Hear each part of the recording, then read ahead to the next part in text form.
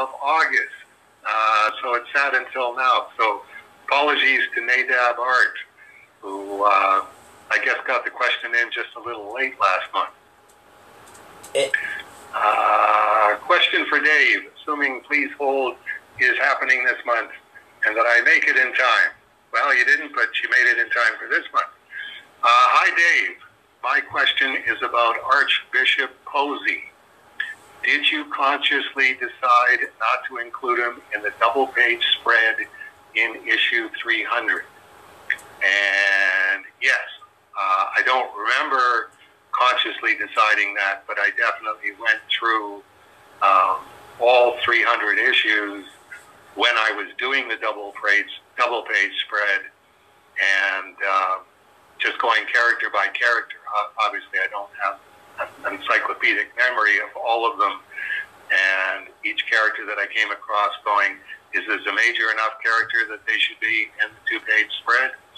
And is there a reason, uh, apart from that, a contextual reason that they shouldn't be in the two page spread? I ask because you said the reason Rick isn't there is that he's one of the most devout monotheists in the story. Uh, yes, exactly. Uh, I couldn't help but notice some similarities between the two characters. They were both devout in their respective faiths. Uh, they were both martyred, though maybe they killed Posey for simply stepping out of line. Uh, I'll interrupt at that point and go, well, that's really why they do that. I mean, uh, uh, I think most, I think you'll find that uh, most martyrdoms in in the history of uh, of Christian church uh, was it was a matter of of interpretation between um, what the martyr thought was their duty um, to Christ and to God and to Christianity, and what the person who uh, who killed them thought. And for those people, it was always they were simply simply stepping out of line. Uh, your first loyalty is to the Roman Empire, uh, Roman Emperor.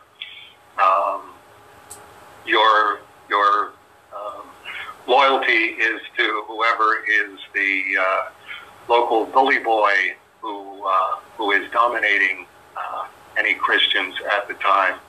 Uh, if you don't understand who your first loyalty is to, then yes, we're we're going to kill you, or uh, at least make things very very unpleasant for you. Uh, and they were both not in the spread in number 300. Put another way, if Cerebus had a thought bubble of Posey with a question mark instead of Rick as he jumped into the light, would he have had a similar reaction to his absence? Uh, and then Nadab adds in parentheses, uh, maybe not, since Cerebus might associate Rick with his faith in God and Posey with his faith in Tarim. And I would uh, refine that even further, uh, that Cerebus really went from uh, his faith in Tarim to uh, faith in God, uh, not at Rick's behest, but because of what uh, Rick was saying uh, about, uh, you know, Tarim is actually God. You're, you're, you're, you're giving him the wrong name.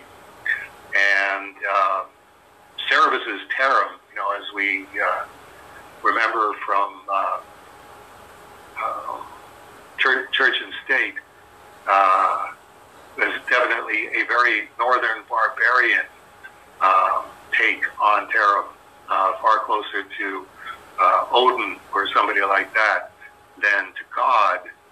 And uh, so there would definitely have been a schism between um, Cerebus, the northern barbarian, who believed in the northern barbarian Tarim, and the Cerebus, who then came to believe in God, and um, Kennedy, who to Cerebus would have been one of those strange people whose first loyalty is to the church, to uh, uh, the Western Church.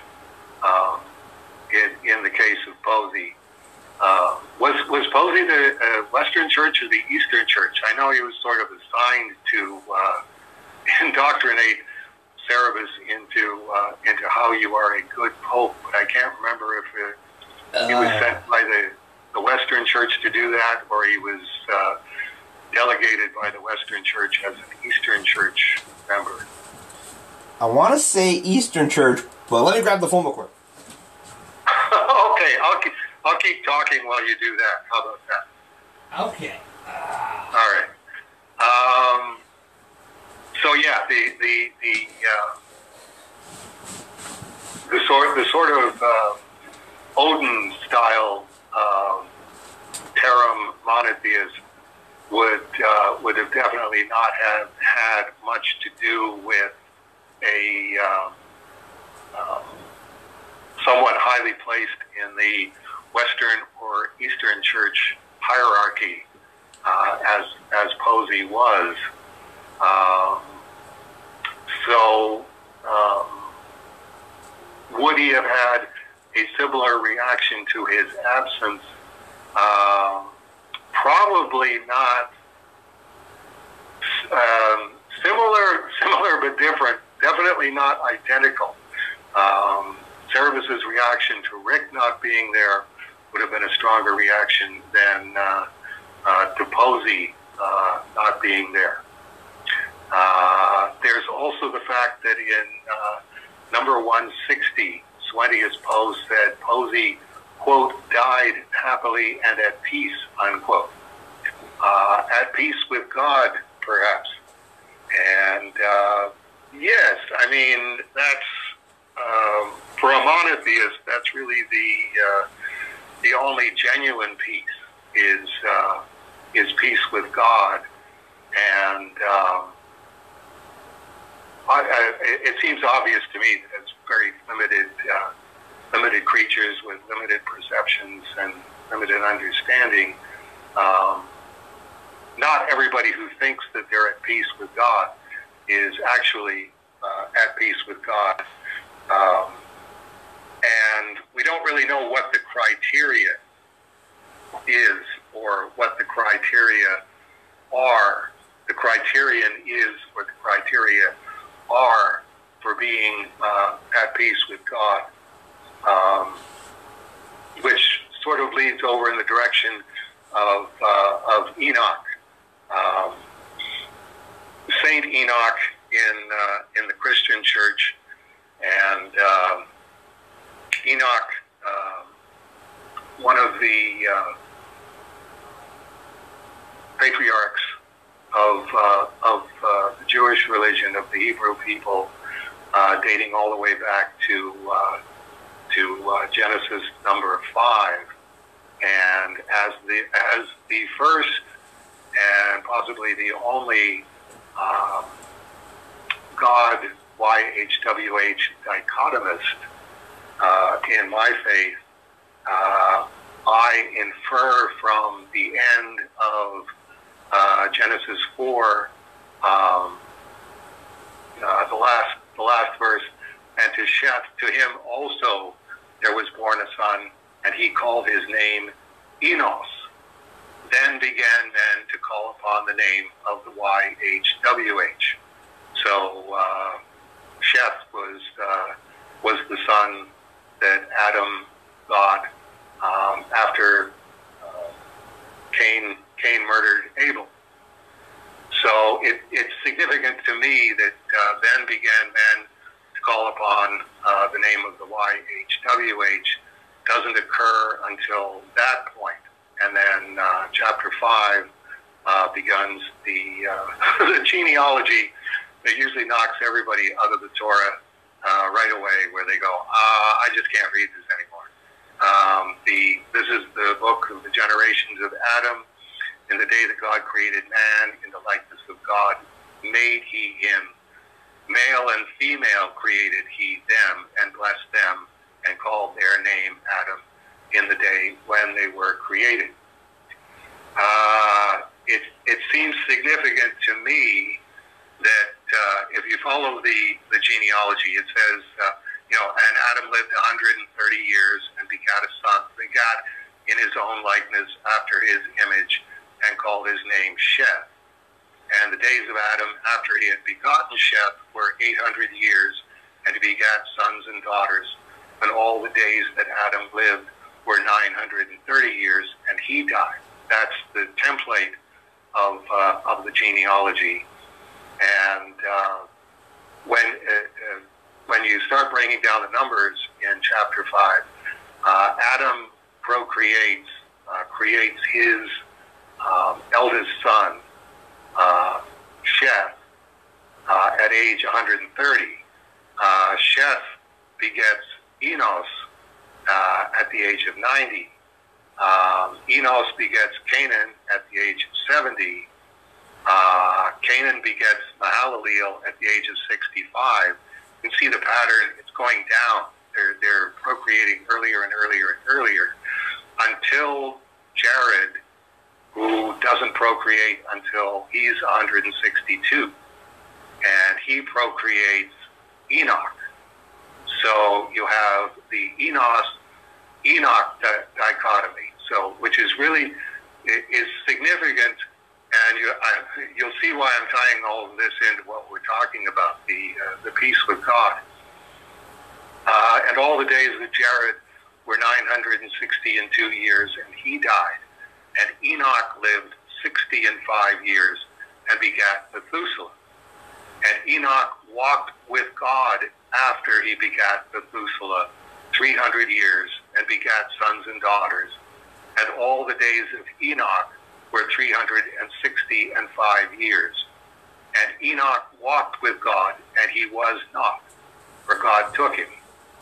Uh, that's the, the flat inflection of, of that passage, I think it's a response to the enos that uh, was at the point where men became began to call upon the name of the YHWH.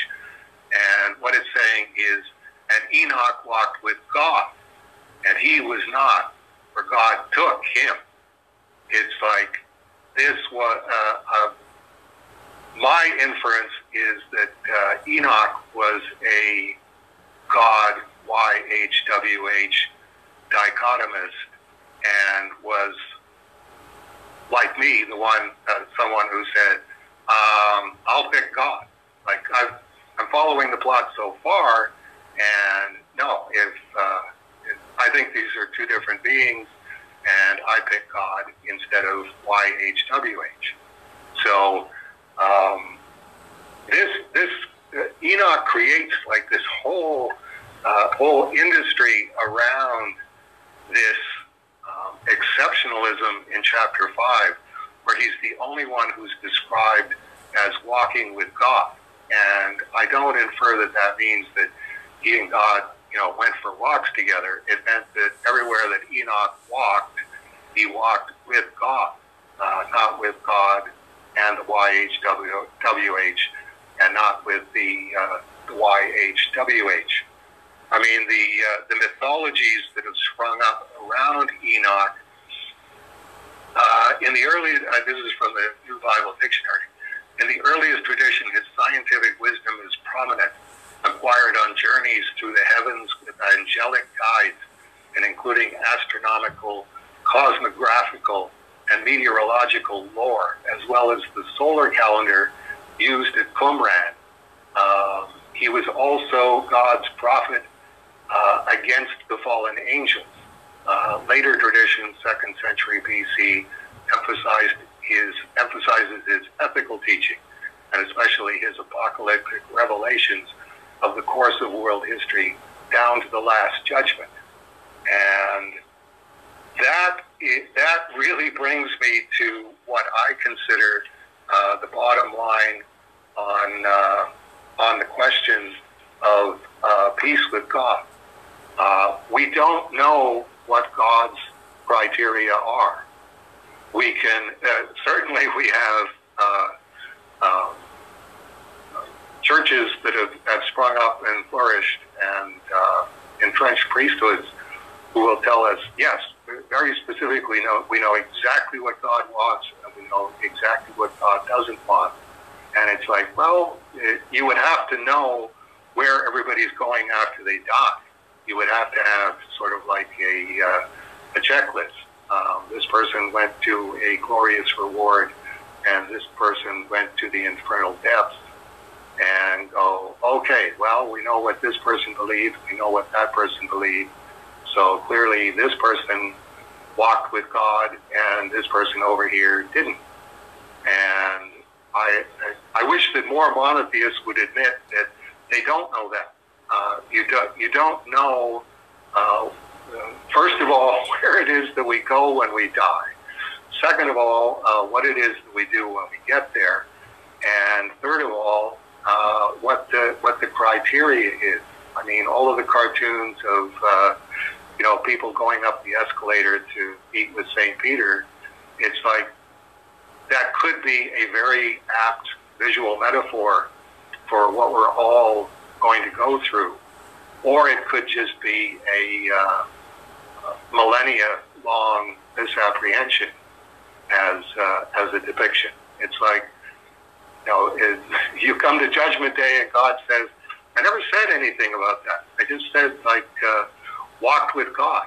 If uh, uh, if you had kept your lives clear of debris and uh, you know focused on on on prayer, my assumption, focused on Scripture, another assumption of mine, uh, focused on feeding the poor, another assumption of mine, then you would know what walk with God meant. Um, what you know, walk with God is what the what the Muslims are doing. What you know is uh, you know submitting to uh, um, to God's will, not uh, figuring out God's will or understanding God's will. Just going, uh, I'm taking my hands off the steering wheel and I will let God do the do the steering for me.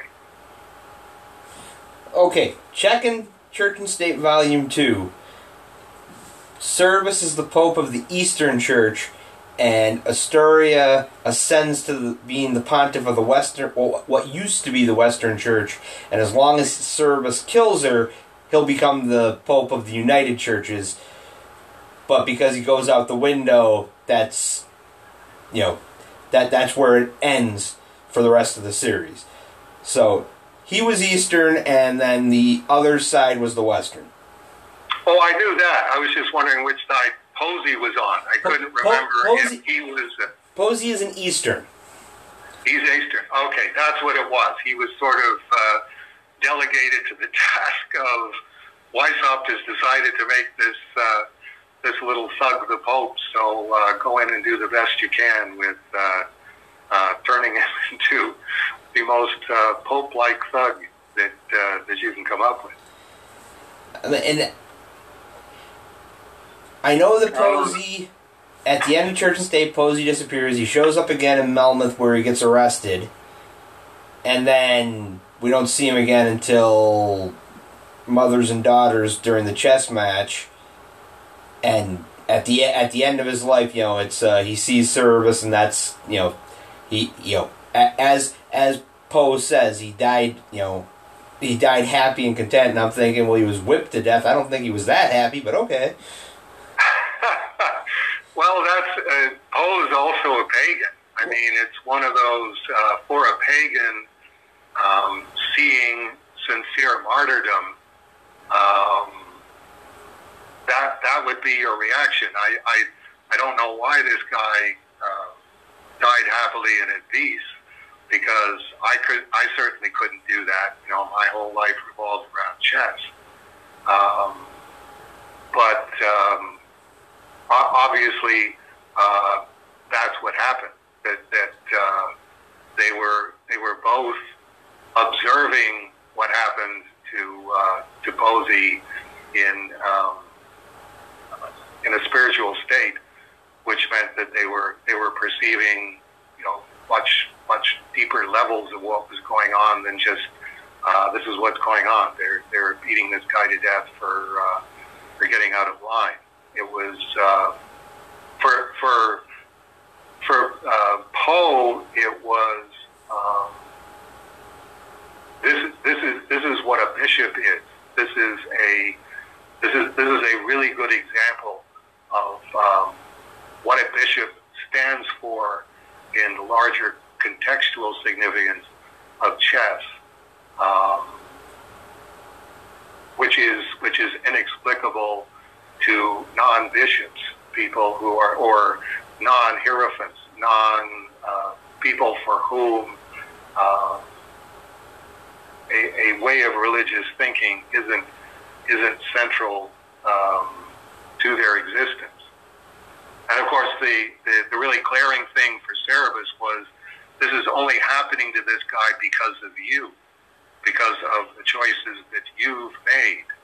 You have to understand that that's there. There are implications to that. You can't say, uh, "Well, it was because of uh, of his own decisions and nothing that Cerebus had anything to do with that this is happening to him." It's like, well, no, by virtue of your existence and your choices and the position that you put yourself into, that led him to this point. Um, it's it's uh, your your your hands aren't clean in the situation. Um, you could maybe make a persuasive argument that they weren't as dirty as they could have been, uh, but that brings us back to Judgment Day again. Uh, what does happen to you um, when when you make the kind of choices that you do, and do it without realizing that there are uh, major, dire, potentially dire implications for other people. And as we know now, it leads to uh, um, 65 or 70 monthly issues of, well, you know, read, read and Hell with a question mark. There, that's what it gets you. okay.